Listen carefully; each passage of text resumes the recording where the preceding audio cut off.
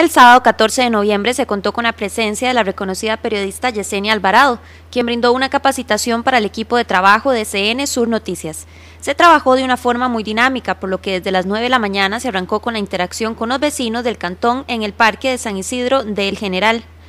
Luego se continuó con la capacitación en oficinas de TV Sur Canal 14, donde se llevaron a cabo varias actividades. Bueno, en realidad ha sido una experiencia muy bonita para mí porque, bueno, he tenido esta oportunidad de compartir de cerca con, todo el equipo de, de Sur Noticias y realmente estoy muy contenta porque en lo que uno pueda poner un granito de arena para, ayudar al noticiero, ¿verdad? Que, que, es tan querido aquí en la zona sur eh, del país, pues realmente me alegra mucho más que yo soy aquí de, de Pérez Celedón. El objetivo de dicha actividad es actualizar los conocimientos del equipo de trabajo de CN Sur Noticias, que cada día busca darle un mayor espacio a los ciudadanos. Queremos hacer noticias, se quiere hacer en Sur Noticias eh, informaciones que le interesen a todos los vecinos de todas las comunidades de, de estos cantones de la zona sur.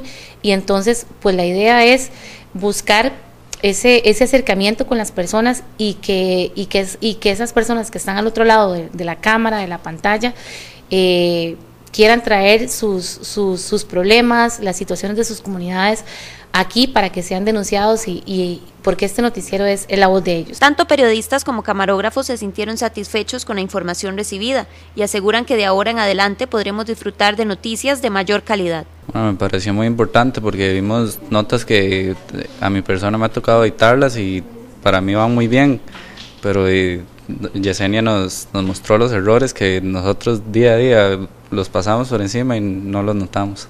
La principal enseñanza no, seguir creciendo, porque es medio regional que va creciendo y nosotros también vamos creciendo con él.